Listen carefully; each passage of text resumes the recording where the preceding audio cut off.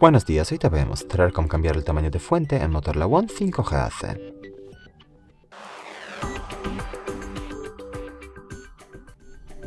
Si quieres mm, que la pantalla de tu dispositivo se vea más grande, abrimos la aplicación Ajustes y en Ajustes buscamos la pestaña Pantalla y luego pulsamos, bueno, mm, más abajo Avanzado para ver más opciones y aquí buscamos tamaño de la fuente.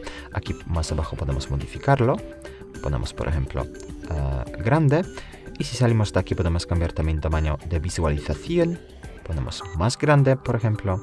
Y si salimos de aquí puedes ver que los cambios ya están introducidos. Muchas gracias por ver el vídeo, te invito a comentar abajo y suscribirte al canal. Hasta luego.